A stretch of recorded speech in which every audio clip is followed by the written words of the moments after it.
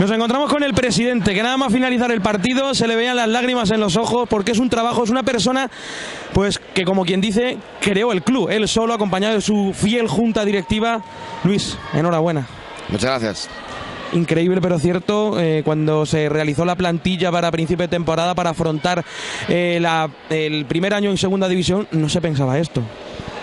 Yo hoy la verdad es que no quiero hablar de lo que hoy está pasando, sinceramente, te lo digo así. Hoy la verdad es que estoy muy contento porque nadie se pensaba esto. Pero hoy me estoy acordando pues, de ese mes de mayo en el cual hice una reunión hace 13 años y se me ocurrió hacer este club y, y- y a mucha gente le dije que empezáramos esto y tal y algunos me decían loco y tal. Y bueno, y aquí estamos hoy, después de pasar alegrías, penas de muchas cosas, pues hoy estamos aquí festejando un, día histórico en el que no sabemos lo que pasará de aquí para el siguiente, a lo que pasa de aquí en adelante.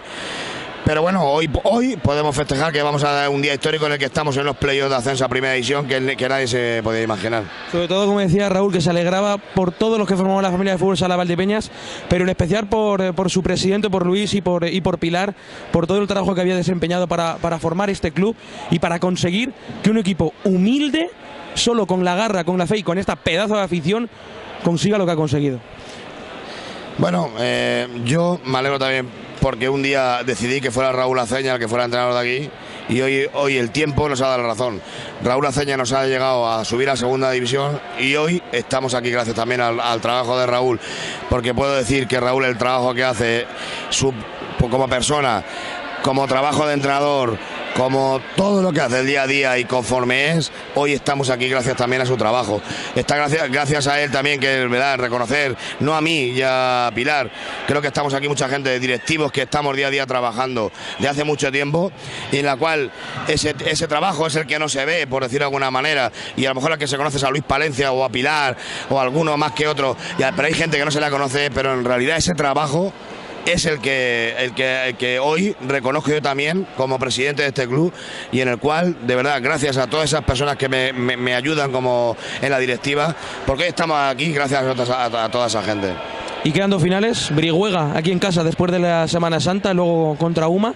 Y ahora la pregunta es, los jugadores decían, todavía hay opciones de, de seguir escalando posiciones para el factor pista, ¿y por qué no? ¿Se puede soñar con el ascenso directo? Todavía hay opciones. Yo otro día lo decía, que hoy que el, partido principal era- era el Segovia. Ya hemos pasado a Segovia. El siguiente Brihuega. Vamos a ver qué pasa. Primero vamos a ver qué pasa mañana Brihuega con Canarias, que queda ese partido. Sabemos resultados. Sabemos que matemáticamente estamos porque gracias a que hoy Elche también ha ganado a Melilla, ya somos matemáticamente equipo de playoff. Nosotros, el siguiente partido, intentaremos que esté esto igual que está hasta hoy y que llenemos el pabellón y que, si es posible ganemos a Brihuega. Y después tenemos Antequera. Y a partir de ahí, sabemos que después tenemos unos playoffs. O, o no los tenemos porque somos primeros, pero el tiempo irá diciendo lo que vamos llegando. Nosotros, el primer objetivo lo cumplimos hace ya unos cuantos meses, que era el, ma- el mantener la categoría. Hoy hemos hecho el segundo objetivo, que era jugar los playoffs. El tercero, vamos a ver si llega. Luis, enhorabuena de verdad. Muchas gracias y a seguir soñando porque como decía Fer, coincidía Joan, esto no acaba, esto no acaba más que comenzar. Muchas gracias por la enhorabuena, pero enhorabuena también a ti, a Juani que está ahí detrás, aunque no se le ve, a Chufer, a José Ángel, a muchísima gente que de verdad, si hoy conocen al Masei, al Valdepeñas, a esta población, a que hoy se oiga este fútbol sala aquí en Valdepeñas, es gracias a toda la gente que de verdad hoy estáis día tras día tuiteando el Facebook, crónicas, muchas cosas que nosotros no las hacemos porque seguramente o no sabríamos o no podremos y sin embargo gracias a, a toda esa gente como vosotros también se oye a Valdepeñas, aunque no metamos goles o no los metáis y sin embargo muchos de esos goles también son vuestros. Muchas gracias, presidente, y a seguir disfrutando que queda lo más bonito. Muchas gracias. Y no podíamos eh, despedirnos eh, sin eh, ver a Guillermo Rodríguez Guillo, que también forma parte de una de las personas, como ha dicho Luis, que empezó en su momento en el club y que hoy está triunfando en el mundo del periodismo, que es su pasión. Muy buena, Guillo. Buenas tardes. Vamos a hablar del club hoy, que es lo que toca, pero sí es verdad que yo empecé aquí un buen día con don Luis Palencia y yo quería que me contestaras una pregunta y que mientras me contestes esa pregunta recuerdes todos los sábados por la tarde de pabellón, cuando lo hemos visto vacío, cuando los ascensos, los descensos, los malos partidos.